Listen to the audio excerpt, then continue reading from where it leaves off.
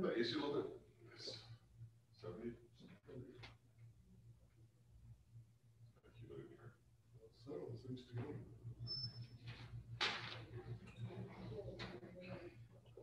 Hey, Judge. Hello, Ms. Berger. How are you? All right, how are you? Another day, another dollar. Are you attorney of the day today? I am. Some things those pay off. Well, I'm looking at the list of names. Kinda like my chances on a few. Yeah. Sometimes, you know, I just, I seen the way it was run before. I was like, it didn't make sense to me. Yeah. Yeah, everyone just being courteous to each other, which is great, it's a good bar, but, um, it's just- I didn't think it was fair.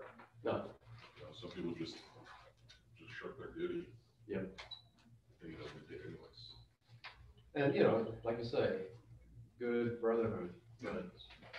Yeah, it makes for good relationships, but the way I saw it is, the expectation was you're supposed to come for other people. Right. So as a courtesy, I just, honestly, I, it's not that I wanna pay the people that are here, I don't wanna pay the people that are purposely skipping, because they're like, Right. like they're, I was rewarding bad behavior. And I think that's the case with some of these individuals. It's extremely deliberate, because there's never an explanation as, well, I'm, I'm in a hearing with, um, downtown at one o'clock, I can't get out of it. Yeah. Not even, a not even a cursory, Yeah, Sorry, I can't make it. up.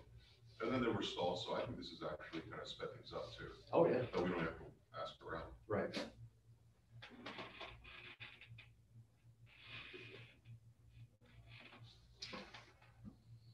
Denton County. Winter records. Okay, so Mary, you might know this. What is your reputation and your policies on when the attorney tries call? They're supposed to make it go through. The last time I All called, I told you. talked to her, and so it's, you know, she's not doing well. First I looked at her phone, and never came back. Three other times I called, That's horrible. they, they said, the phone is being. Okay, I said, can you at least let her know that I tried to call? We're not allowed to do that. Do you want me to give you the email for his emails? Well, they said he's not here today, I should talk to Shane Jackson. What are they saying? They're not letting you talk to your client?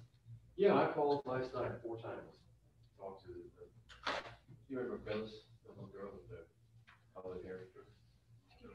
Put me on hold, eight minutes. It's a long time when you're just sitting there. Then I called back, uh, phone's busy. Try again and I'll try it again, phone's busy. Last time, phone's busy. I said, okay, can you tell Phyllis that I've tried to reach her tonight, it's now eight, eight fifteen. No, can't, we're not allowed to do that. So, you telling me the child doesn't know that I'm trying to reach you, you can't pass that along? So if it's a phone call, I don't know how much I can do. If you can't visit, this and that, you get me involved. Oh, yeah, no, I knew that, they can't stop me from that, but there should be a mechanism to let child know, hey, your attorney tried to call me. Because what happened after that is that the family is like, my phone, why haven't you talked to her? They shouldn't ever not put an attorney's phone call. I mean, if the phone is literally busy, I get it, but then at least tell the kid that I'm trying to call. I email Shannon, Okay, CC, Ron okay. It's never happened. I mean, I've had it happen, you know, one time where the phone's busy, I call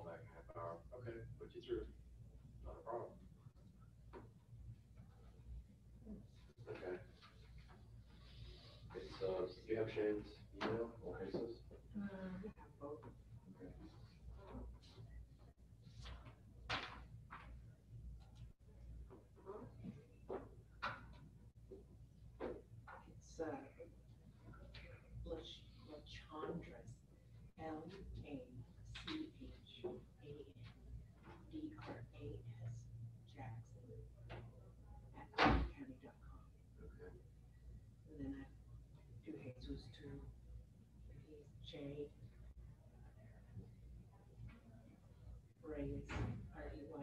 Is it small lettering that can't. He's high, he's higher up.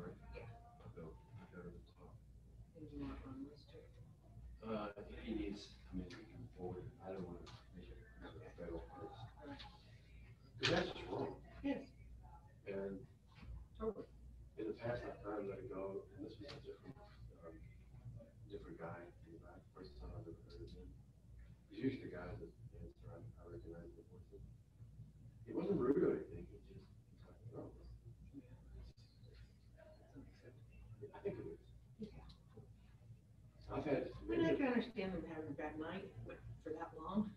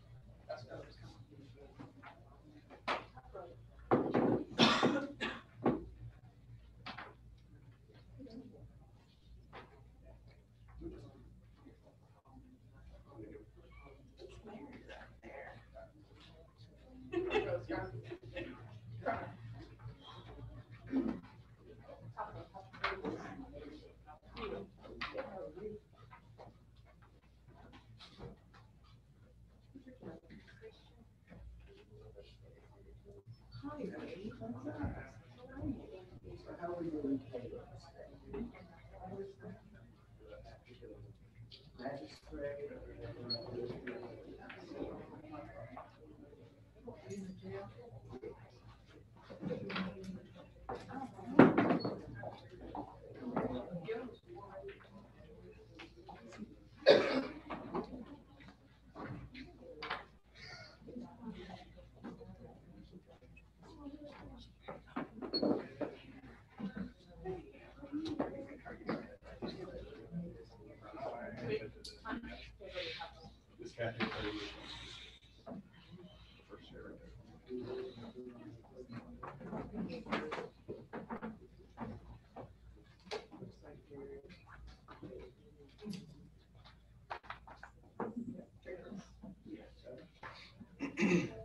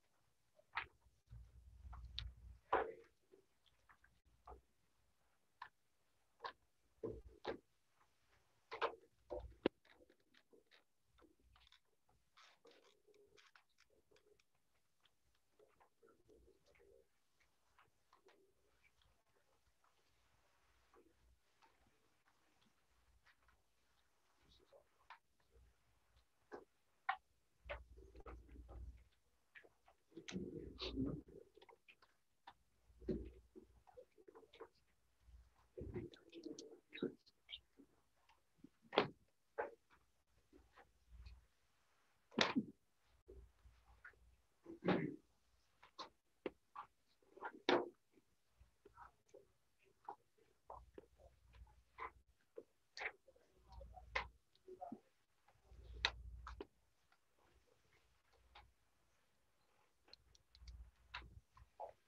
don't miss your mask. At all. It was creepy. Oh, you love it. It was just- it was disturbing. That's probably what makes me happiest about the masks. Yeah, it's disturbing. I like it. Good like it. Very good, you know, I'm a bobcat. When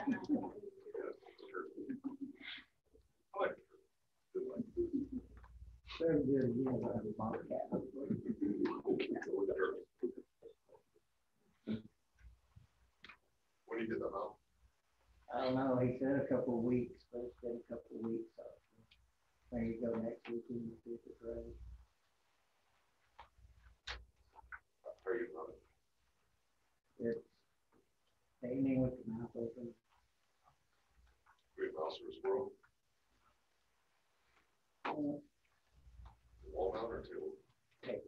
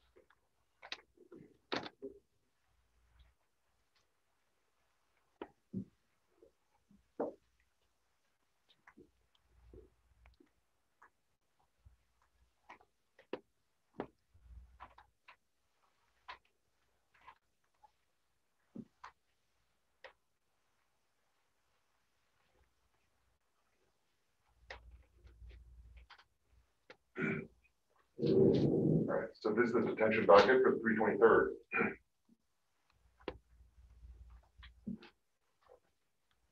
District Court of Tarrant County. Couple things I want to go over. All right, so the law says when a child is brought to our deten- detention facility, you have to see a judge within two business days.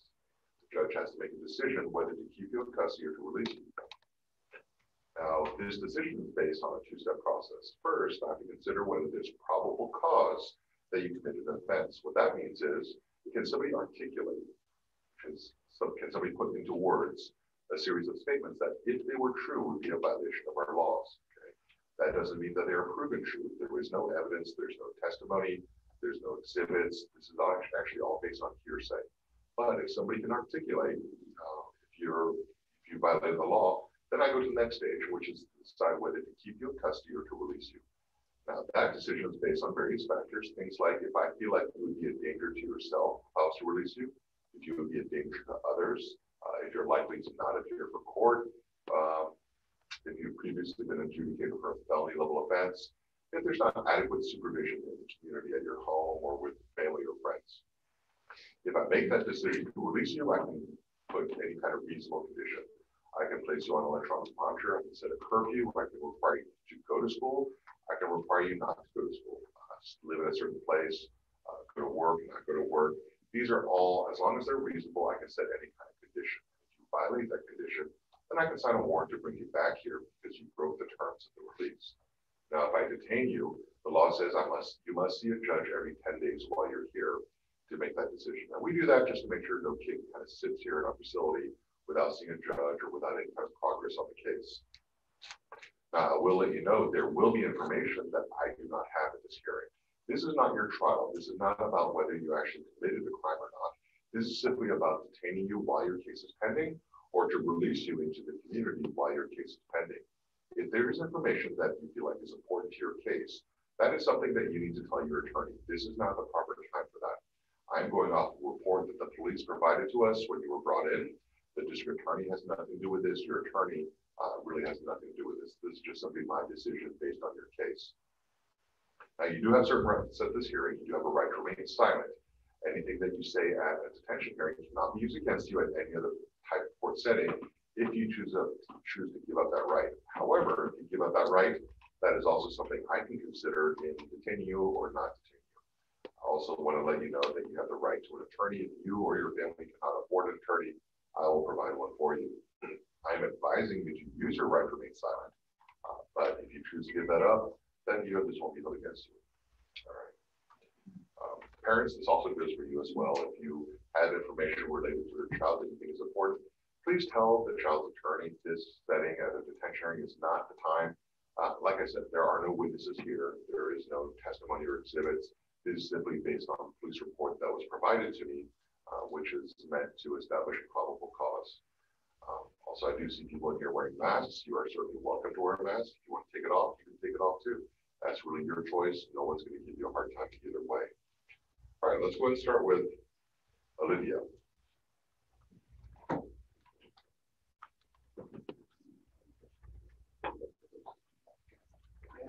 Yes, sir. Thank you.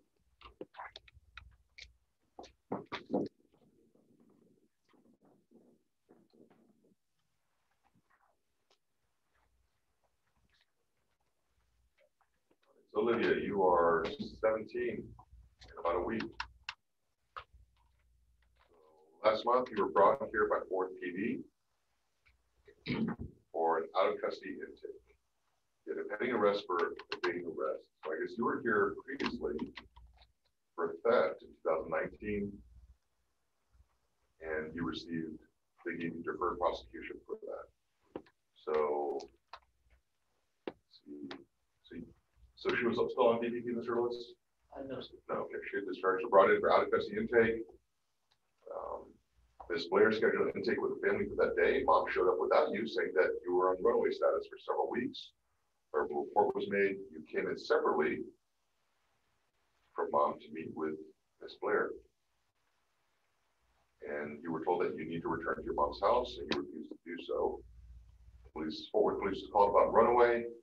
They confirmed it's active. Since you refused to leave with your mother from our facility, we decided to take you in custody as a runaway. And we held you over for a detention hearing for the, for the offense. This is from May. When Fort PD received a call about a stolen vehicle, identified the vehicle, followed to a church parking lot. When they got out, two of the three people, including you, seated in their rear driver's seat, ran took off running in different directions, ignoring commands to stop. So you ran behind the church, they stopped you and pointed a taser at you to get you to comply. You're compliant, you complied, they took you into custody, searched and found 0.064 ounces of marijuana. So you're given a ticket for drug paraphernalia and release your mom. So you're brought in here when you refused to leave with your mother, tested positive for marijuana while you had a case after you've had DPP.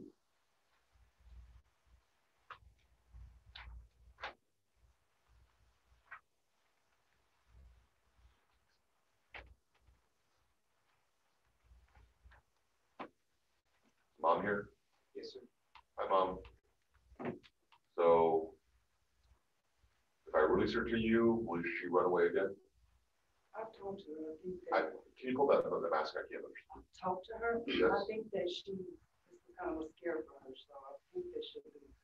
Okay.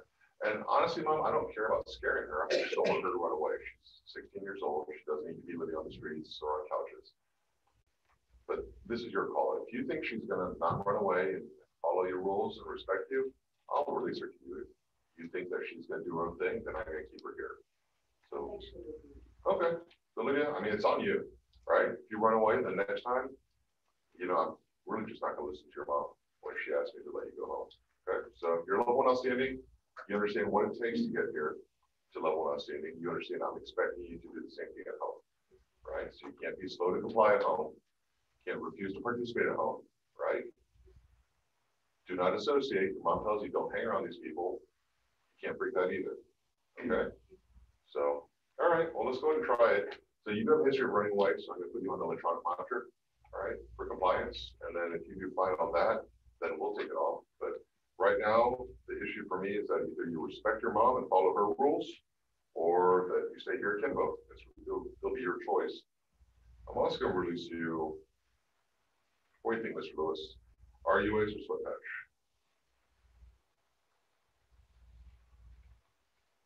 I, uh, Start with sweat patch.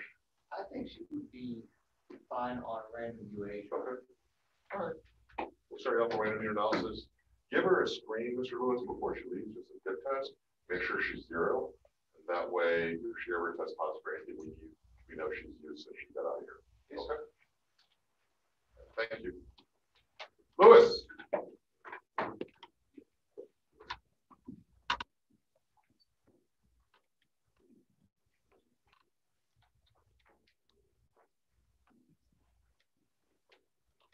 Hello. Thank you.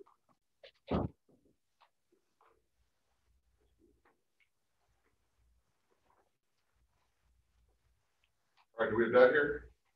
No, he's not. Okay, I talked to him yesterday, Judge, he thought he had a apartment lined up, and then the place changed their mind at the last minute, because they thought he'd had a prior eviction, which he said he hasn't, that the house was saying was the eviction was the one that he actually owned. So apparently there was just an eviction with that address, and they thought it was him, okay. and he's still trying to to them that it wasn't his eviction, hopefully he can get moved in there. Right. All right, Lewis, you know he's trying, right? Yes, sir. You know, that's all I'm waiting for, right?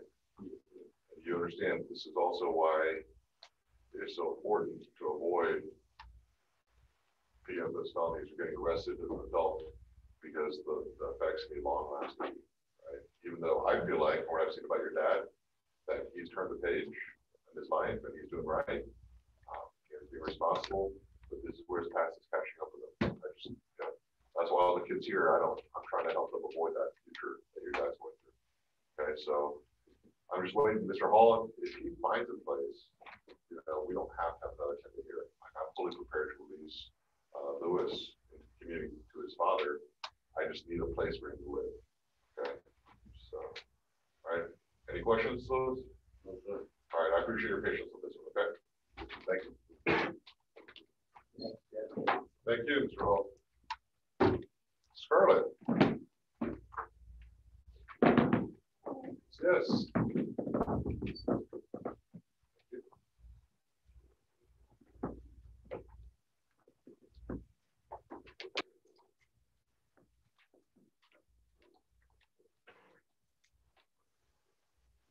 All right, Scarlett, this is the one, this is the one she set up like meet up with the guys, smoke weed, drop acid with friends to rob them, and then victim didn't want to, so they shot at the car while he was driving away. The one.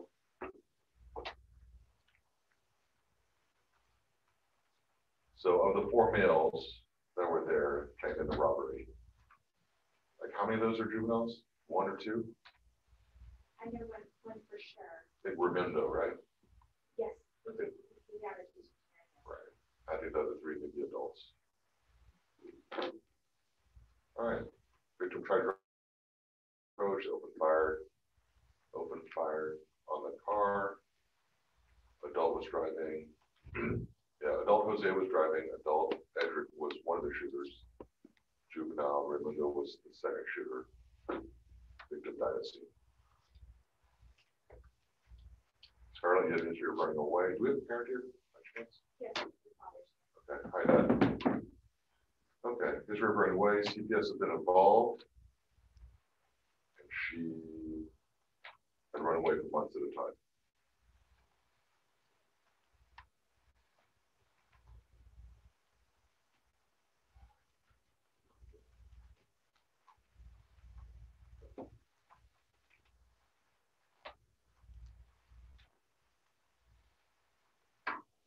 Yeah, Dad, of those, looking at Scarlett's history, it just seems like you and your wife were trying to do everything for her.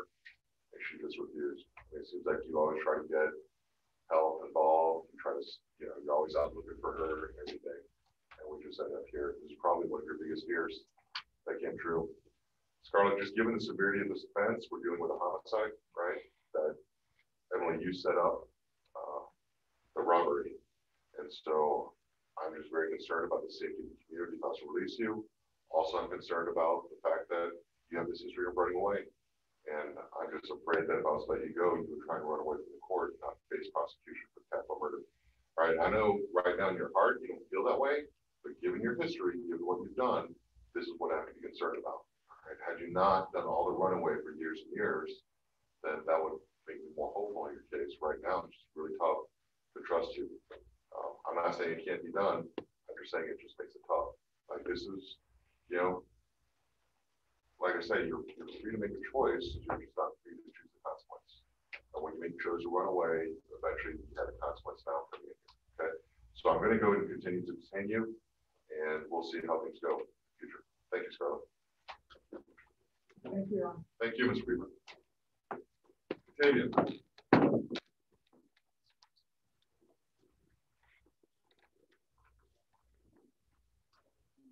Yes.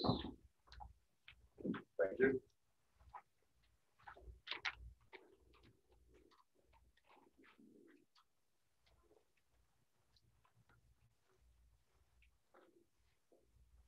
So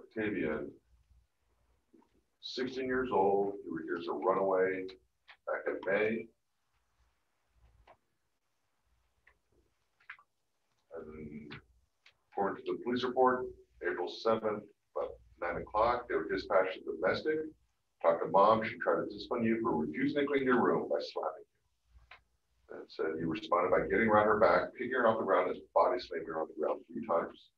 I saw marks on mom's chin and knees, looked like carpet burn. She described pain and said this has happened before. Then you left home, you're a runaway, you're arrested on May fourth after being gone for about a month. And brought over here. Tested positive for marijuana. Judge Porter orders psychological evaluation and placement search. And uh, you are back here on level three outstanding. So Ms. Paxton, why is he level three? Um, that happened on six twenty-nine, disruptive and non-compliant during cleanup, threatening staff and refusing to follow instructions times three, included as a result of persistent misbehavior. Simply as a result of what? Persistent misbehavior. Okay. Is mom here? Oh. She get off work. Oh, no, she, she, right. Hi, mom. Oh, Okay, she made it. So refusing to clean this room, refusing to be respectful, being aggressive, persistently, persistent bad behavior. This sounds like Octavian when he was at home, right? Like, it seems like he has absolutely learned nothing while he's been here. It is what it is. All right, David, if you think you can last longer than me and hold out until I give in, then you're wrong? I'll just keep you here. I can keep you here until you can show me that if I release you back to your mom's house, you're gonna be respectful to her, you're gonna be respectful to her rules, and that you're not gonna cause problems. If you're causing problems here at detention, there's no way in the world I think you're gonna not cause problems at home. So it's your call, just whatever you wanna just decide to do right, do right, we'll give you a chance at home. If you wanna keep on acting like a fool, then go for it, it's all you. All right, so have fun back there. Thanks, David. Thank you, Mr. Daniels.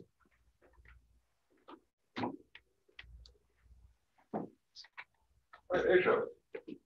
Yeah, this is the one you indicated. you- Oh, we're gonna hold on last. Hold up. Yeah, Mom, thank, are you able to talk to him while he's here? He hasn't called us, I bet he's not happy with us right now. Well, I mean, one day he'll figure out he's not happy with himself.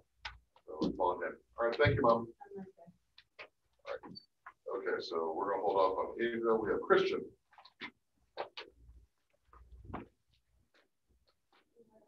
Yes.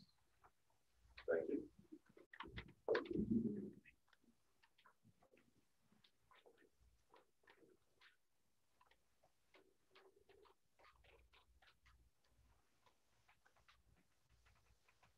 Mary, how old was gave you.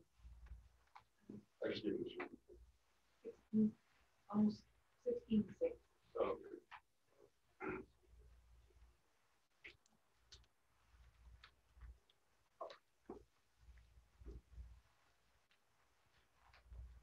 All right, Christian, so sixteen years old, back in two thousand twenty, January, you're brought in for theft. While that's pending, you got arrested for stealing a car in March. Then in June, you got arrested for probably stealing more cars. And then in September, you got arrested again for stealing more cars. You're placed on probation for the theft from one hundred to seven fifty, the theft twenty-five hundred to thirty thousand, twenty-five hundred to thirty thousand, another twenty-five hundred to thirty thousand. You're on probation for felony offenses. June twenty-first, you showed up for a court. And we passed it because you had a pending psychological. Why did we ask for psychological because on probation? Do we know? I'm not sure why one has not been ordered before, but we ordered one to kind of get ready for court hearing. For a court for what? For the unauthorized use of the vehicle. Honor. Okay, I have a question. He was already on probation, Yes, correct. He's on two terms of probation so why do we need a psychological? Like if he's already on probation. Because uh, we're trying to see if maybe there's some other issues going on that we could perhaps address. But there wasn't any problems at that point, right? And that's that. Okay. Judge Porter ordered that psychological? Yes. Okay. So you place on electronic monitor, and we give you a drug test, which is positive for marijuana, so you're on probation, and you're smoking weed. Next day, there's an EM alert saying that you left home, walked to the corner. For about thirty minutes, we did a home visit, and you're reminded not to violate electronic monitor. A week later, mom told us that she and stepdad did a search of your room, found small bags with appeared to be marijuana and white powder and a loaded nine millimeter handgun. So I got a report, we issued a warrant for you, and you're brought into custody. Any positive marijuana again? Do we have a parent here? Yes, Hi, mom. Okay, so.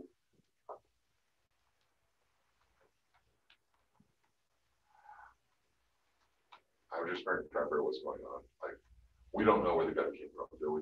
No, sir. And he had baggies of a white powder, which like you thought was baking soda or something. It was, it was like he was baking soda, Okay, but it was, we did find marijuana. right, which looks like he's dealing drugs and using a gun. All right, well, Christian, at this point, I'm gonna go ahead and detain you. Um, I just think if I was letting you go, obviously you're in very dangerous behavior right now. That I think it's a danger to the community. I'm also concerned that you Christian, you'd be surprised the number of kids that come through here on homicide offenses because they were buying or selling marijuana. So, and the fact that you had a gun, what, what it looks like in drug dealing, that indicates to me that you were willing to either put somebody in fear of their own life or take somebody's life over weed. So I don't think you know this yet, but I just have this policy, whenever kids are brought in with guns or gun-related offenses, and I just detain them at the beginning, make sure I'm comfortable releasing them. So I'm gonna detain you for now, we'll see what's going on, and see how you behave back here, see if you can show me you can make decisions, and we'll reevaluate this. All right, thank you, Christian.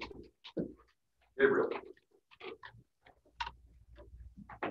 Thank you, Mom.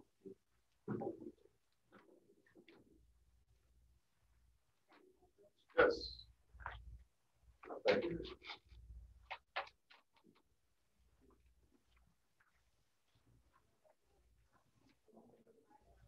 So Gabriel, two thousand twenty, you were arrested for criminal trespass. You're placed on probation.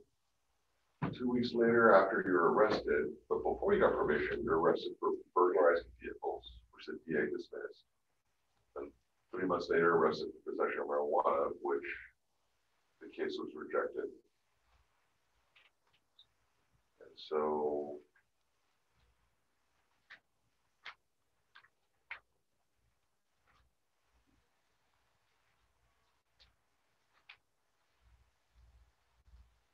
You placed on probation November two thousand twenty. Arrested you for the weed. So when you came in for the marijuana, I released you on electronic monitor and a sweat patch. Two weeks later, you showed up for sweat patch testing and it was, the patch was tampered with. Uh, So you just took off the sweat patch. Two weeks later, we received sweat patch results showing the next patch you received was positive marijuana.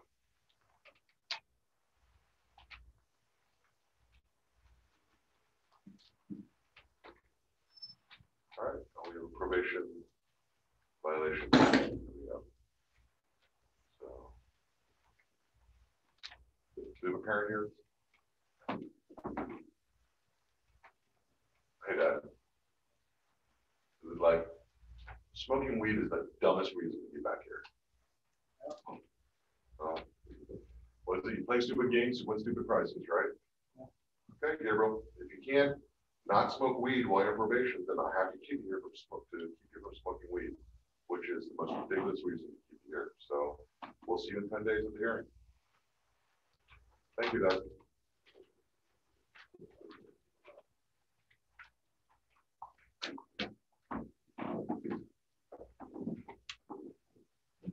Osmond. Yes. Thank you. And then it's not even about like the marijuana itself, it's just not like your own probation.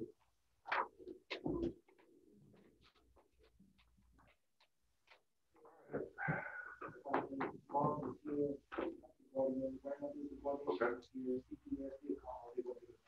Okay, so great, mom is here. Hello, mom.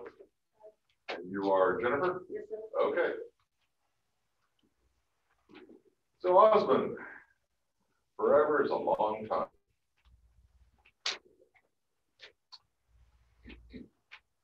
You were on probation for stealing a firearm back in nineteen.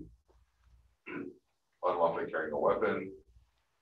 And possession of marijuana. We picked up some probation violations, we extended your probation out.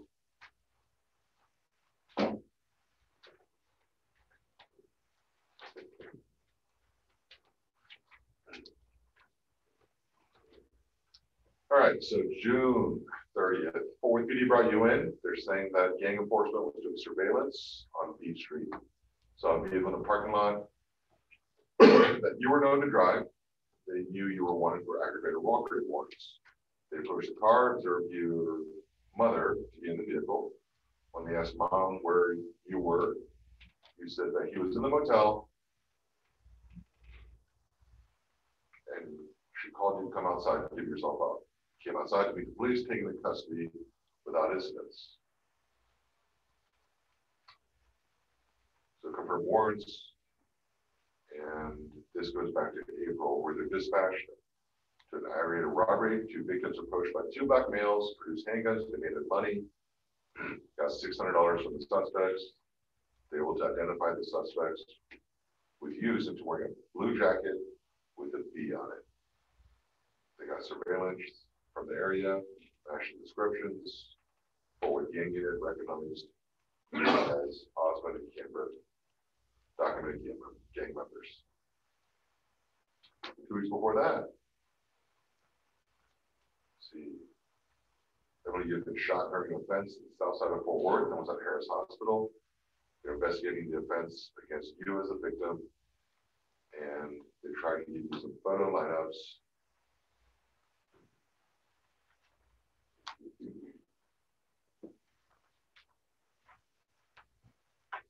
And information gathered to believe that you did commit the offense of aggravated robbery. All right, April twelfth, they made contact you, were shot in the shoulder. You said that you were being dropped off at your aunt's house to meet grandma, someone drove by, shot the vehicle you were in. Grandma said that you left home about a week before and failed to return. We set an administrative hearing for you, because you're on probation, you failed to show up. And so I issued a warrant for you. So you've been on the run since when? April twenty-seventh? No, April, Actually, April the nineteenth. okay.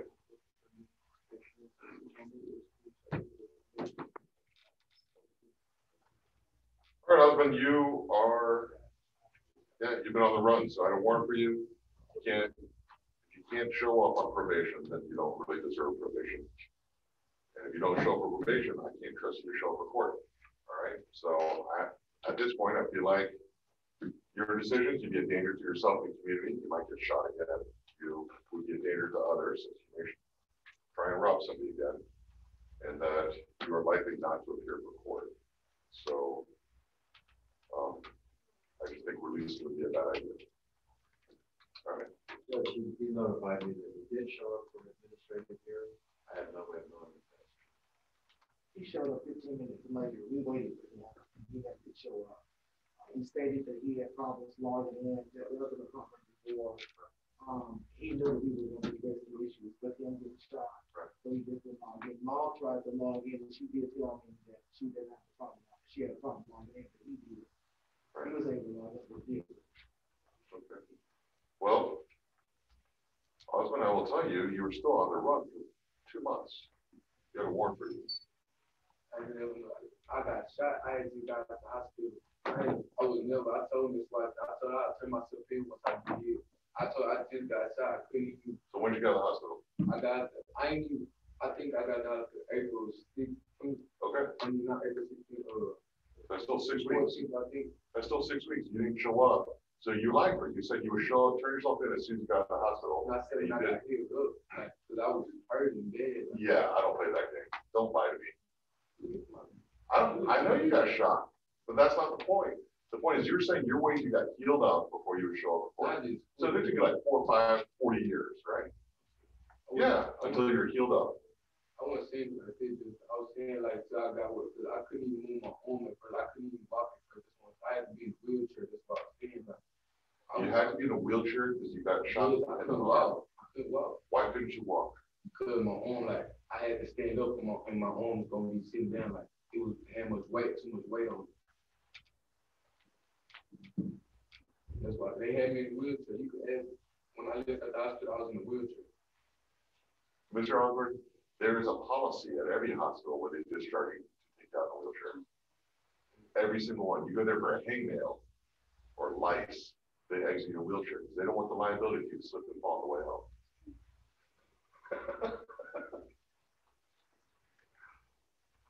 Jennifer, does this, do you pretend that his lying to you works on you?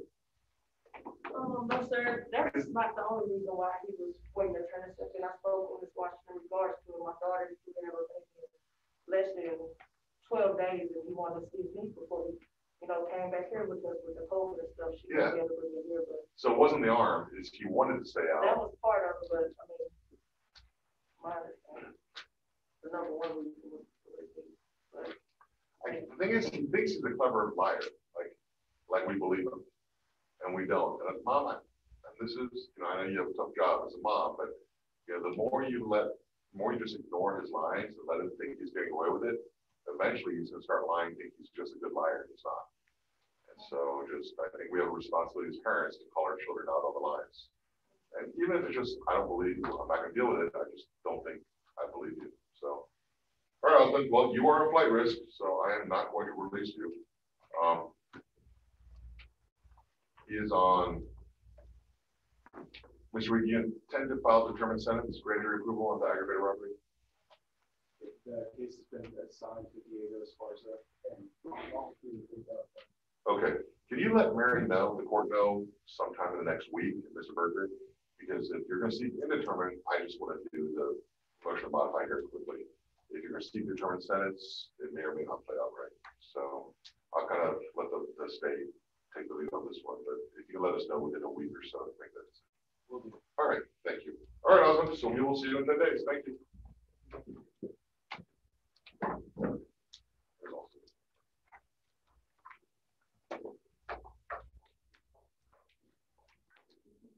So at this point, under fifty-four A of the Texas Family Code, the court finds that the interests of the public are better served by closing these proceedings to the public. I think we only have one left. So we have the department here, the municipal law here,